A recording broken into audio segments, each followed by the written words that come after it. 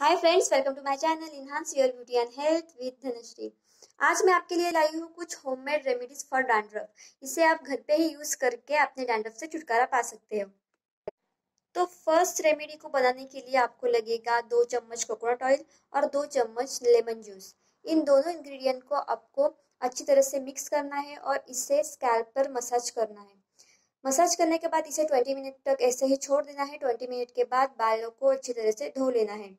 ऐसे अगर हफ़्ते में दो बार करेंगे तो आप देखेंगे आप, आपको कितना अच्छा रिज़ल्ट मिल रहा है। सेकेंड रेमेडी के लिए आपको लगेगा मेथी दाना।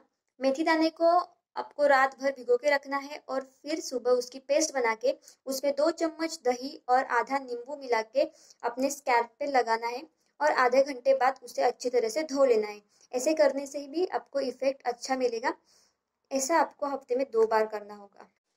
थर्ड रेमेडी बहुत ही सिंपल है, आपको बस नीम के पत्तों को लेना है, उसे अच्छी तरह से पीस के स्कैल्प पे लगाना है, बस, और आधे घंटे बाद पानी से धो लेना है। ऐसे आपको हफ़्ते में दो बार करना है, और आप देखेंगे कि आपका डैंड्रफ धीरे धीरे कम हो रहा है। तो आज के वीडियो में बस इतना ही। आज की वीडियो आपको कैसी लगी ये ज़रूर बताना। अगर वीडियो अच्छी लगी हो तो इसे कर देना लाइक शेयर और मेरे चैनल को सब्सक्राइब ज़रूर करना। तो फिर मिलते हैं ऐसे एक वीडियो के साथ। तब तक bye and thanks for watching